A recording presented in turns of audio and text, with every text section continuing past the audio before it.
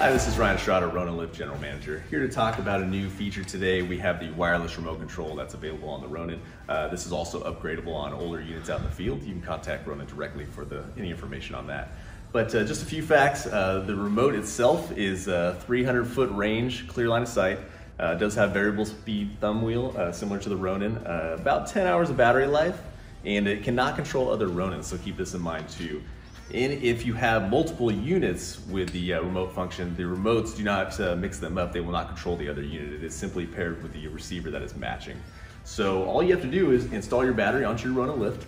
You're going to hold down the power button on your remote for about three seconds, and you'll notice the uh, lights all come on.